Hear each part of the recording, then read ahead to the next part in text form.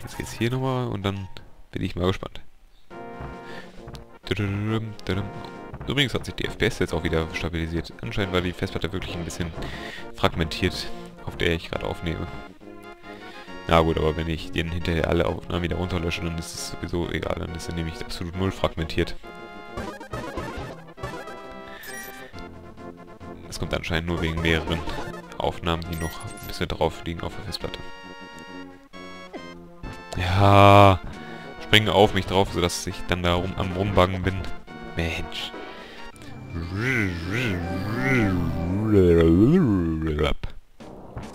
So, jetzt springen wir hier auch ganz genau runter. So, hier rein wollte ich nämlich. Vielleicht erinnert ihr euch, ich habe mal, glaube ich, in irgendeiner Folge versucht, hier durchzugehen. Ja. Ich sag mal so, wir haben einen magischen Umhang.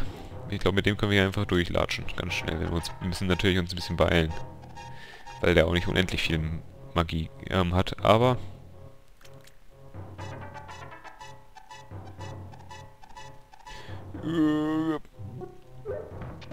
So, na bitte. Und was kriegen wir? Noch ein Stäbchen. Der Birnennachstab. Schwinge ihn und ein Ring aus Licht wird dich schützen. Ja, der ist quasi nochmal so eine Art Zauberumhang. Funktioniert aber ein bisschen anders. Ich weiß nicht, noch nicht genau, wie der funktioniert, weil ich den noch bei den Let's Playern, die ihn sich geholt haben, nie im Einsatz gesehen habe. Bin ich mal gespannt, ob wir mit dem Burnerstab zum Beispiel jetzt hier den Weg zurückkommen. Jim. Aha. Scheiße. Okay, jetzt ist er vorbei. Der, ähm, schützt uns, glaube ich, so lange, wie wir auch Mana haben, ne? Also ist ja quasi nochmal der Umhang, oder was? Nur, dass man mit dem Umhang auch noch durch Wände gehen kann und sowas. Unnötig, könnte man sagen. Ups. Ja, ich möchte ja auch gerade nicht nutzen.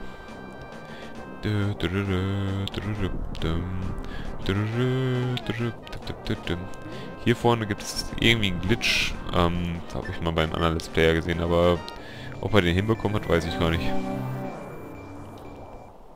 Und ich weiß auch nicht, ob es das bei der NDS-Version gibt oder bei der GBA-Version.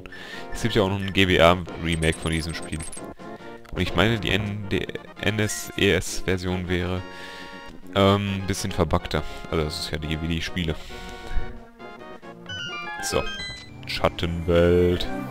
Obwohl, ja, doch, den Teil hier haben wir schon mal, glaube ich, in der Lichtwelt erforscht. Also erforschen wir ihn jetzt nur noch abschließend mal im Licht, äh, im Schattenbereich.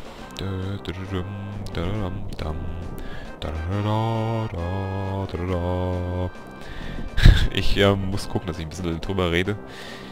Ähm, ich weiß jetzt nicht, ob ihr schon gemerkt, äh, mitbekommen habt. Sucht ihr etwas aus? Nein, ich will jetzt gerade nichts. Ähm, Nintendo claimt ja jetzt alle Videos von Let's Playern ähm, die sagen, die wollen sie nicht sperren, aber sie wollen halt auch nicht, dass die Let's Player daran Geld verdienen, sondern die wollen halt selber an dem Video wiederum wieder Geld verdienen. Na gut, ist ihr gutes Recht. Ähm, sie sind die Urheberrechtsinhaber. Trotzdem hätte man das ein bisschen weniger asi machen können und mal ein bisschen auch mit den Let's Playern sprechen können, ob man denn da nicht eine Partnerschaft eingeht oder sowas wie 50-50 macht oder sowas, ne? Wär, aber wahrscheinlich ist dann wieder der bürokratische Aufwand zu groß oder so. Ich weiß es nicht, was denen da im Kopf herumgeht.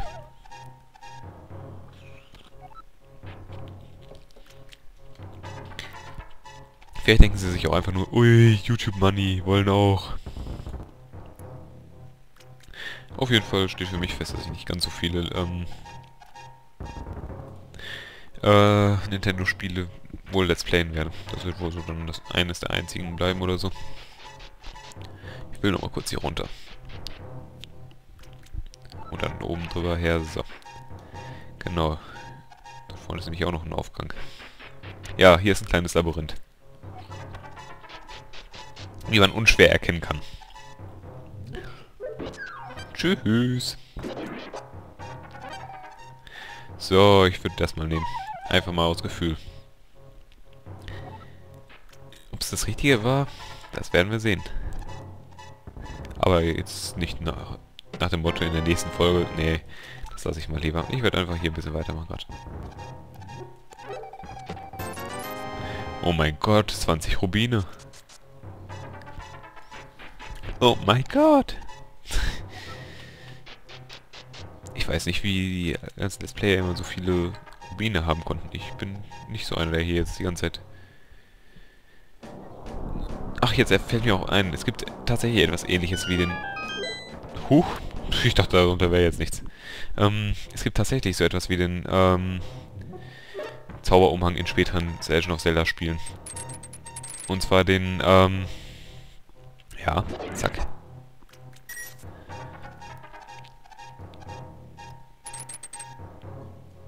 Ähm, die Magierüstung im Legend of Zelda Twilight Princess. Scheiße. So. Ich meine, hier kann man einfach rübergehen. Ja, hier kann man einfach rüber. Fast einfach rübergehen. Ich werde es euch gleich zeigen, wie man den Weg dort oben entdeckt, weil so direkt kann man ihn ja nicht sehen. Ich meine, ich hätte mal gehört, man könnte den sehen, wenn man ähm, das Spiel extrem hell stellt, könnte man es auch über einen Trick sehen. Aber ich will ja die tricklose Variante euch gleich mal zeigen. Heps. Ich will mich nur hier erstmal kurz ein bisschen durchhangeln.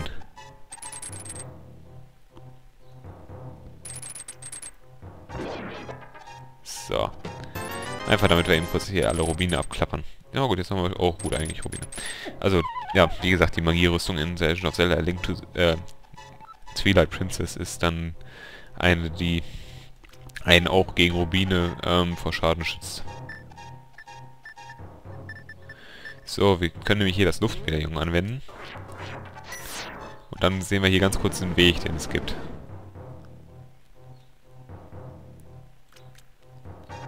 Seht ihr? Man muss sich halt nur ungefähr merken, wo der Weg jetzt lang ging. Bevor man dann da lang gehen kann. Ey, das ist nicht wahr. So, ja, auf jeden Fall gibt es hier irgendwie noch einen Weg weiter. Wir nehmen natürlich alle Wege mit.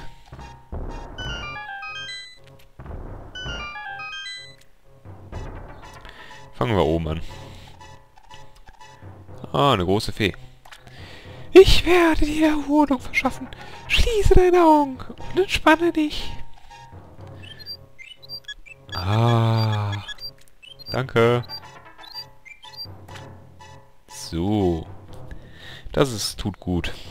Das ist tut gut, ja. Dann können wir hier mal mein...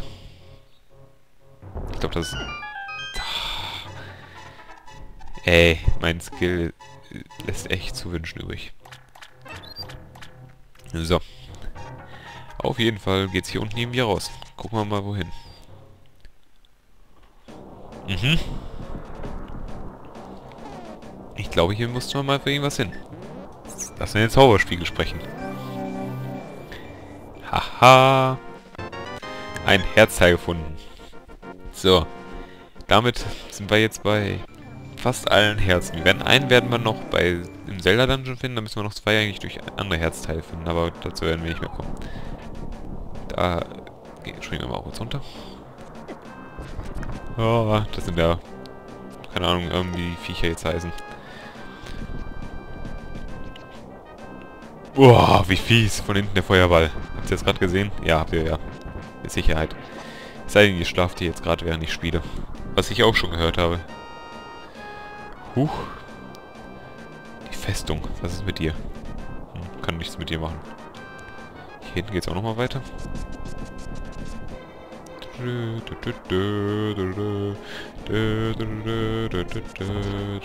Ich gucke hier auch sicherheitshalber mal drunter. Und hier auch einmal mit dem Spiegel zurück. Ne, hier haben wir schon alles abgeholt. Okay.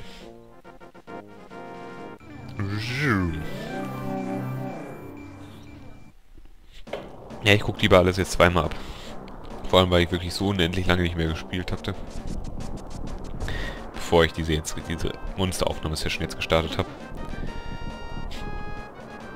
Das ist wirklich eine Monsteraufnahmesession. Ich bin ja immer noch in, mittendrin in der.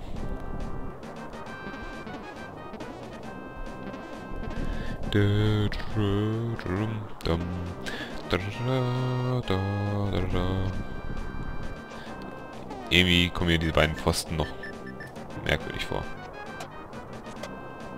Tun aber tatsächlich nichts. So kommen wir natürlich auch ganz elegant vorbei. Ich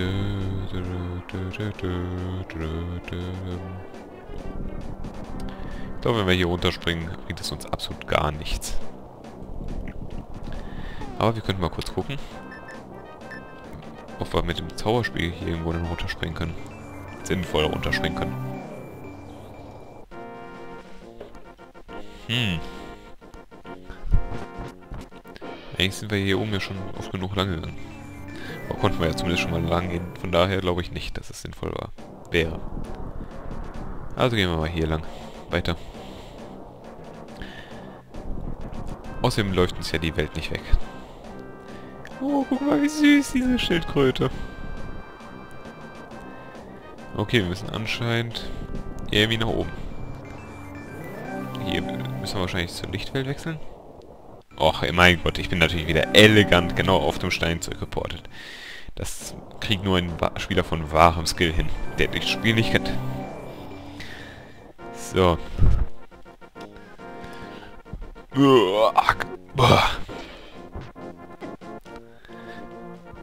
Ja, genau. Versperrt mir noch den Weg. So. Irgendwie ist das hier doch merkwürdig, ne? Machst du mir so gerade vor, oder ist Link jetzt ähm, im Bildschirm mehr links als rechts? Hm, ich weiß es jetzt nicht. Apps. Das, das war schon falsch? Na toll. Da gibt es auch noch eine Reihenfolge. Kann man die irgendwie hier erkennen?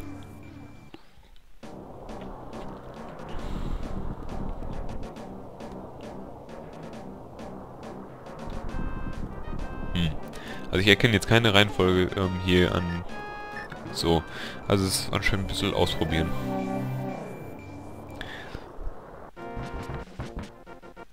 Ah, so. Ich weiß gar nicht, ob man diese Viecher dort töten kann. Ich fange mal oben an. Okay, das war auch falsch. Wahrscheinlich mache ich genau alle, muss ich genau alle Kombinationen durchgehen, bis ich die Kombination finde, die funktioniert.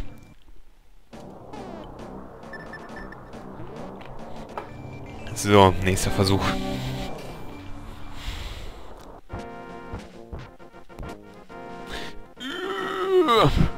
Ach, ja, genau, hau mich mal wieder von hinten an, du Mistvieh. Also, das zuerst. Ja! Ein Portal in die Schattenwelt. So, jetzt können wir nämlich hier hochgehen und das Medaillon benutzen. Genau, wir brauchen zum Glück nicht alle Medaillons.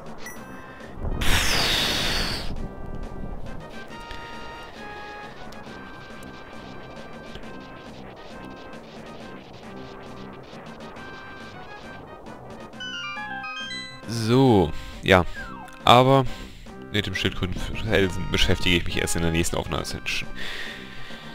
Denn ich habe schon wieder lang genug aufgenommen. Ich wünsche euch alles Gute bis zur nächsten Aufnahmesession. Ciao, ciao.